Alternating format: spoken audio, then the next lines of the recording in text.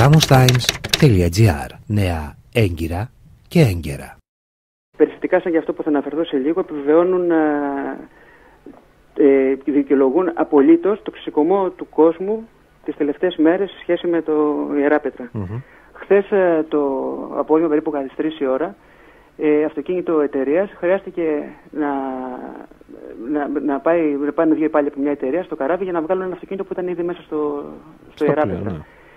Το, καρά, το αυτοκίνητο σταμάτησε ακριβώς δίπλα εκεί που δένει το, το καράβι. Mm-hmm. Πήγε το παιδί μέσα για να βγάλει το αυτοκίνητο. Την ώρα που έβγαινε, κόπηκε ο κάβος, ο οποίος ε, έπεσε περίπου, σταμάτησε περίπου μισό μέτρο από το αυτοκίνητο. Mm-hmm. Την ίδια ώρα το καράβι απομακρυνόταν από τη στεριά Κάποιοι εκεί που ήταν φώναξαν στον οδηγό να φύγει γρήγορα προς στεριά προκειμένου να μην. Οριακά αυτός πρόλαβε και βγήκε έξω και το καράβι απομακρύνθηκε στη θάλασσα. Με δηλαδή, το, κατα... με το καταπέλτη ανοιχτό, έτσι. Δηλαδή για λίγα δευτερόλεπτα και το αυτοκίνητο θα έπεφτε μέσα στη θάλασσα.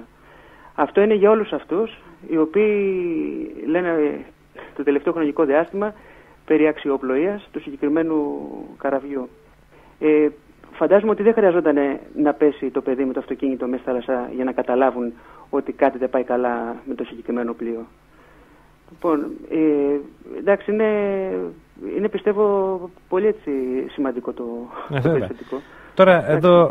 Είναι, είναι τρίτη μέρα, είναι νομίζω τρίτο δρομολόγιο αν δεν κάνω λάθος που έρχεται το Ιερά Πέτρα ναι. στη, στη Σάμο και όταν uh, βλέπεις τέτοιου είδους uh, σκηνικά σημαίνει ότι πάει καλά.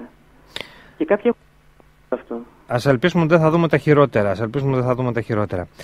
Λοιπόν, να σε ευχαριστήσω, να έχετε το καλό μεσημέρι. Να είστε καλά κύριε Σμονία, γεια σας. Nea έγκυρα και έγκαιρα.